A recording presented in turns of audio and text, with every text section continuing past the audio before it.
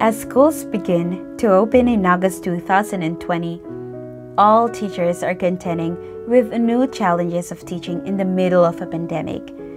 Teaching in the arts, a traditionally hands on process, represents unique challenges.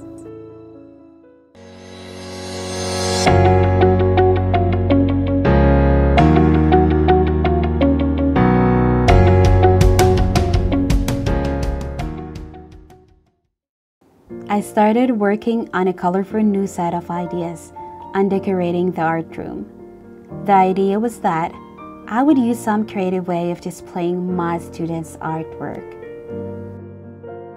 When students know in advance every art piece is going on display, it changes the classroom dynamic.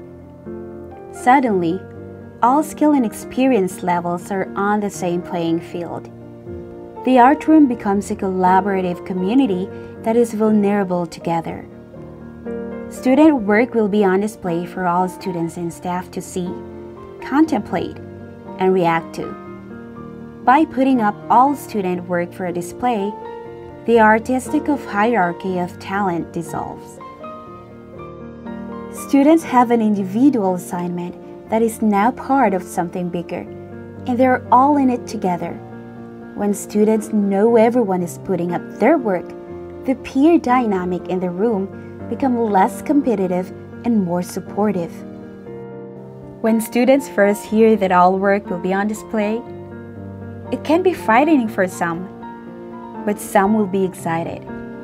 The key is to inform students of the display and motivate them to focus and complete their work.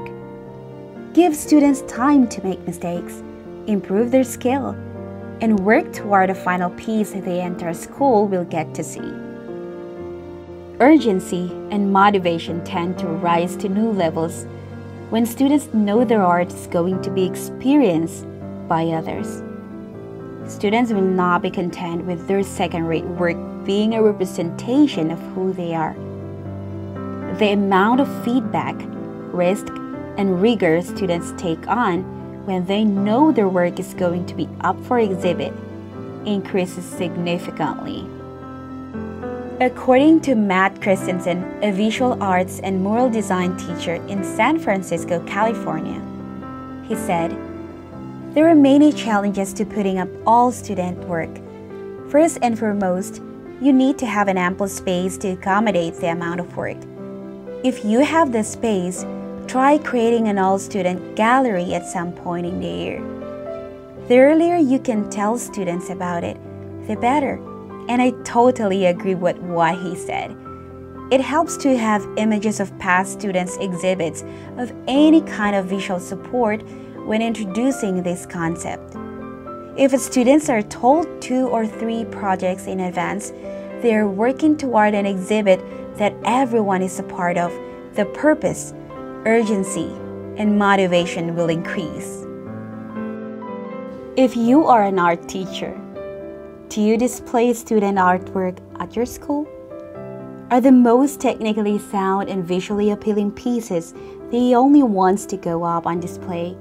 Please comment below and I would love to hear your thoughts.